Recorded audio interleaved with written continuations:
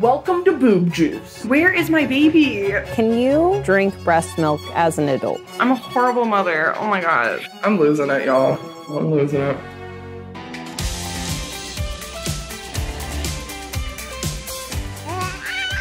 Hi, I'm Lindsay, And I'm Jazzmyne. and this is Fast Forward, where we take on the ultimate challenge. Breastfeeding.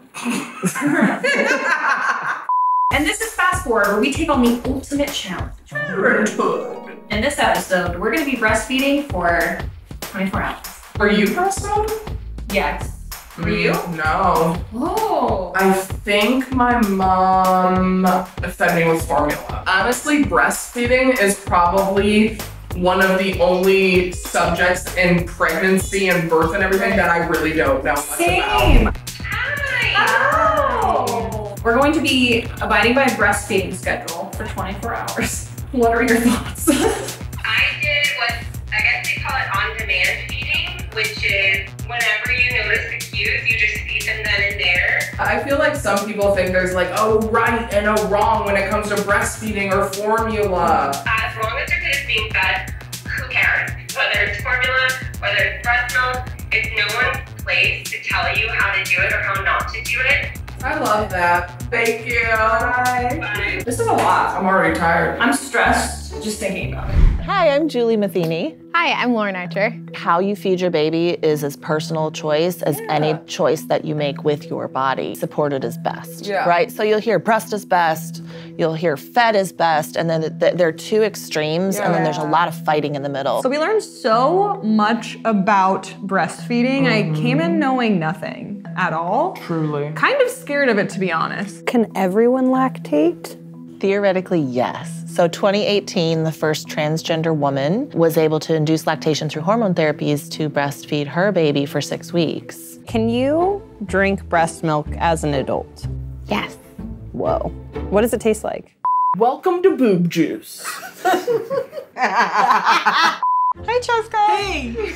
You recently birthed a child, I did. and you're lactating. I, I still am. Wow. Have you ever tried your own breast milk? I've tried my friend's breast milk. How was it? Before I was pregnant, I just it just watery.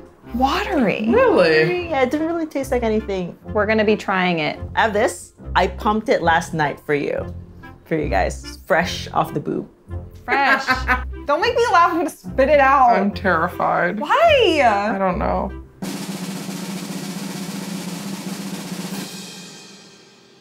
Wait. Why is it really sweet? Really? Yeah.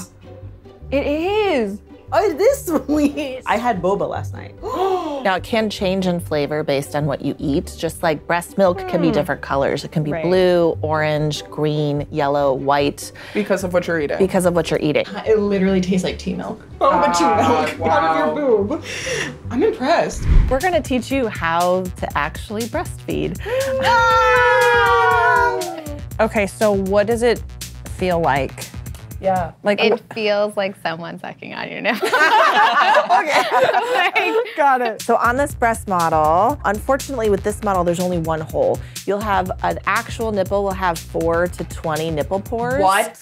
Where you will Four to spray 20? four to 20 where you will spray milk out of multiple holes. So this is not an anatomically correct nipple. Never. So when you have somebody bring you the baby, you're gonna actually get them tummy to tummy. Their butt's gonna be on their arm. Hold them with your palm of your hand in their back, finger and thumb behind the ears. Now you don't have to just feed across your body. Uh, you can feed in football. Okay, so your baby can be back here. Oh, that looks comfortable. very comfortable. You can feed your baby where they're upright. So this is called koala. I like to call it the bar stool. Okay, so So automatic, yep, roll that baby yeah. in. Now mm-hmm. switch your hands. So your right hand is gonna be on the baby with your palm of your hand and baby's shoulders with your finger and thumb up by her ears. And then you switch arms. So you bring this one across and now you're holding your baby. What about breast pump? Yeah, let's look at a breast pump And pump. try it. So this is the flange, but I would actually put this here. There's two modes to a good quality breast pump. There's a stimulation mode that is to stimulate the nipple to get you to release milk, and there's an expression mode that actually relieves that or moves that milk. I've never done anything like this on camera. Okay, it's like a little boob massage. Okay, so you guys are gonna be doing mock schedules of how you would feed, possibly feed your baby. We have come up with two different options. So, all right, I'm gonna give you mine. Okay. So this is for a baby that would be about one week old, where we're still working on um, optimizing feeding at the breast. We're going to consider that you have a lower milk supply and we're trying to boost that supply. So we're going to be breastfeeding the baby and then pumping. Not all the time, so you're on a modified triple feeding plan. And this is a plan that could be mm. for week one all the way through like three, four, five, six months. And it's called feeding on demand.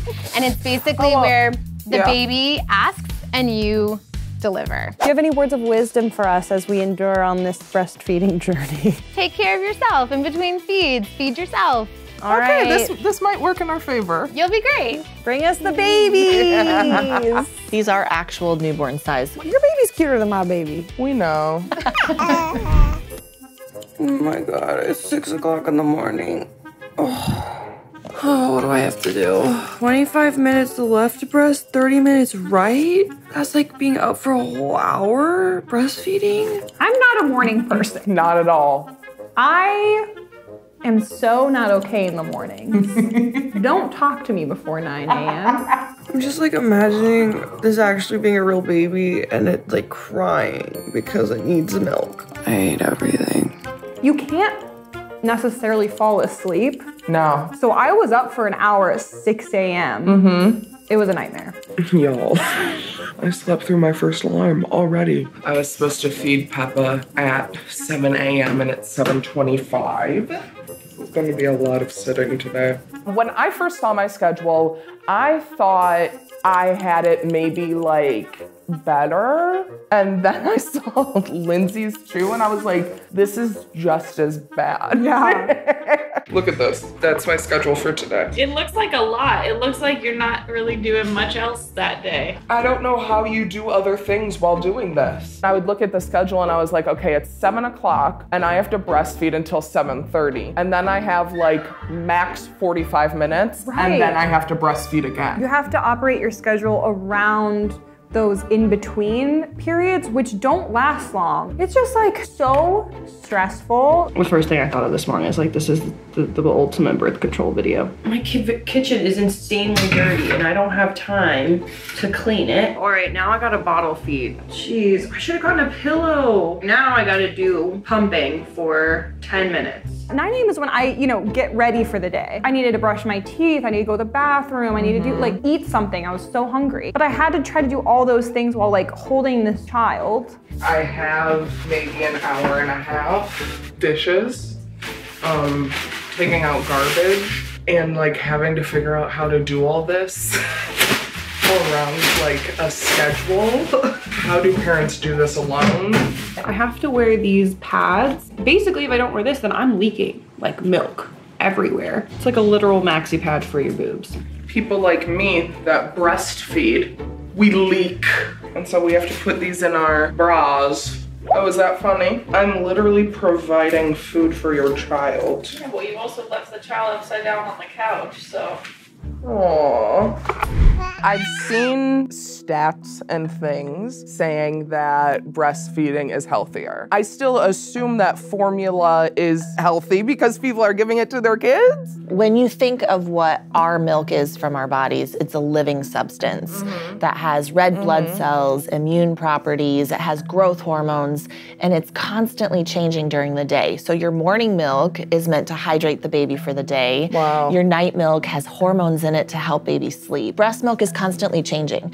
Formula is the same every Right. single time. One of my favorite fun facts is like biofeedback, where when baby comes to your breast, they deposit germs, your body intakes it and creates exactly what baby needs, including antibodies. Wow. So, like, if a parent or anyone in the house is sick, I'm like, drink the milk. Oh my Because you essentially become your own pharmacy, which is amazing. Wild. It is 11:45, which means I now have to do 20 minutes of breastfeeding and then 10 minutes of bottle feeding and then pump for 10 minutes. Well, this shirt's great. You can kind of do a little tucky moment. Why are you smiling like that? Pumping time, baby. Oh my god. I don't know what it is about today, but it's really suctioning. Okay, I'm not gonna lie, it kind of hurts. I just got off my period. My boobs are sensitive. I'm sure that your boobs would be even more sensitive when you're breastfeeding though. On a scale from one to 10, how much does it hurt? I was just gonna ask that. It shouldn't. It should not. Okay, but really? Nope. But really? There is no amount of pain that you should endure. I talked to Lindsay and Lindsay's latching her baby on a real boob. I was just doing the motions. What do I do? Keep her under here? Expose it? Today is a chaotic day for me. My apartment's a mess. So I'm gonna go over to Sissy's house, which she literally lives down the street, and she's probably gonna provide me with coffee and peace. So I went to the cafe with Sissy, but then I had to breastfeed in public. It was really nerve wracking, but it, it was fine. I'm sure if it was a real baby, I would feel more like this is my place and I can take up this space. Hello. This is my friend that saved the day. Honestly, this is what's gonna actually happen when either of us have children. I'm not excited. I've been recalling calling him the evil baby because look how evil he looks. I had a devil looking child fake baby, right? If, if I had a cute ass child that was my own, I still wouldn't love breastfeeding and that whole schedule that's around it, but at least I'd probably feel like I have more of a purpose to get through. This whole show so far, I felt like, oh, I could be a mom. And then this episode happened. I take it all back. this is also not how I'm supposed to be holding him. I'm a horrible mother. Oh my god. I also now have a meeting. I can't decide if I want to go off camera or on camera with this baby in my boob. Lindsay is oh right here with her hideous baby. Uh, Jessica, look at my baby. It's not as cute as yours. My schedule is basically like an hour of just milking myself. Listen, I much prefer breastfeeding mm-hmm. than pumping. I'm sure. Like, I dreaded the pump. Yeah, just sitting That there. noise, that humming noise. Being milked. Being milked. Yeah. A human milking machine. Mm-hmm. I thought I would have to stop and do this less. It's exhausting. We didn't have a real child. No. We're not recovering from postpartum. No. The hormones. The hormones. No. We didn't all that stuff aside. This sucked. yeah, yeah. This really sucked. I never am tired at this time. I'm exhausted. The early evening into like the actual mm-hmm. evening, I was just sick of it. I was bored yet consumed. I still have five more times to feed this child throughout the night. How was your breastfeeding experience? Breastfeeding is awful. I hated it. For me, I had this issue called DMER, dysphoric milk ejection reflex. So basically, the second my milk let down, when that would happen, I would get this awful feeling of dysphoria, like this isn't my baby, this isn't my house, this isn't my life. Over time, it faded away, but not completely. For me, it was always a fight to breastfeed. I want to know a little bit about your mental health. Your body has just gone through a massive hormonal shift. Your pregnancy hormones are dropping, your breastfeeding hormones are increasing, so it can cause all these weird mood changes. Okay. There are some experiences where our hormones work differently than how we anticipate. So there is this thing called DMER, which is dyseuphoric milk ejection reflex. So that when you release your milk, instead of feeling this warm, cozy, happy, comforting feeling, you actually feel like creepy crawly, like get it off, anxiety. There are other people out there that don't feel excited to breast or chest feed or pump. And it's a lot of work. It's not this thing that just comes easily to everyone and it's magical for everyone. But it's worth it. My alarm just went off to breastfeed and I have a dilemma. I can't find the baby.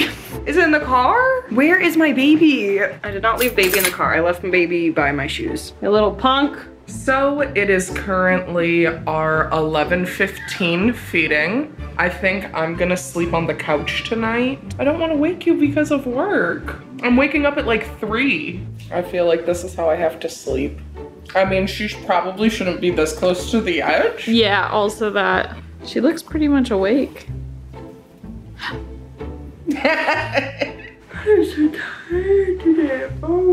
People always say, parenthood's a full-time job. I'm like, yeah, yeah, yeah, of course it is. It's a full-time job times 10 million. Yeah. Because at least at a full-time job, you have a time you go home, a mm-hmm. time you relax, and the full-time job doesn't wake you up at 3 a.m. crying, wanting to suck your boob. Well, it is 12 a.m. and it is time for me to feed. I thought that I only had a 3 a.m. and really I have a 3 a.m. and a 4:15 and a 6:30. I literally just got to sleep and now it's 2 a.m. The thing with breastfeeding is I'm trying not to fall asleep. You're not supposed to do that. It's like a special kind of pain when your sleep is being messed with.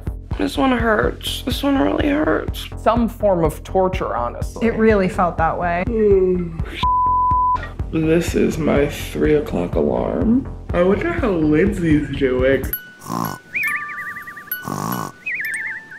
If I had a newborn, I would need so much support. Our last minutes. And then I'm going back to bed. We are done. Honestly, parents, unreal.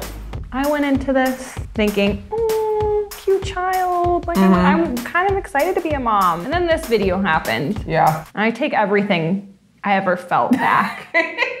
we didn't even have a real child, that we didn't even have real bodily things happening to us. And Yep. this schedule really messed me up. The Affordable Care Act, uh, so the, that was signed in 2010, says that lactation services need to be covered by insurance at 100%. Oh, that's great. As preventative medicine. About 75% of my clients get my consultations for free. Wow. So you can do a prenatal breastfeeding class for free. You can see me for free to be able to then get this, these things on track. I would need me, someone to help me, yeah. someone to help them help me. Yeah. Like I would need a whole team if I was doing this. Right. Boobs, man.